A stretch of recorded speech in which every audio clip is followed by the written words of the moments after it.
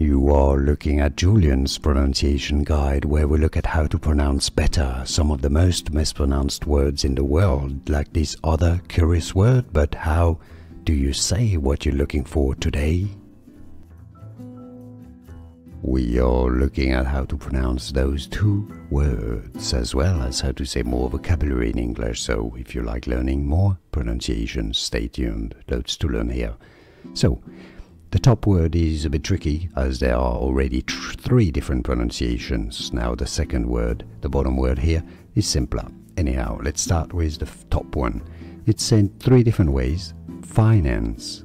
Finance. Stress on the first syllable. Finance, although some say it, and it's also correct to say it as finance with a stress, stress on the second syllable. Okay, you got this? Finance or finance.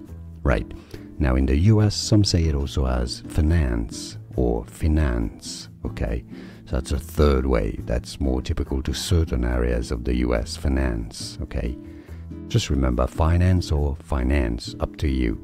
Now the bottom word is simpler as it's consistent UK versus USA.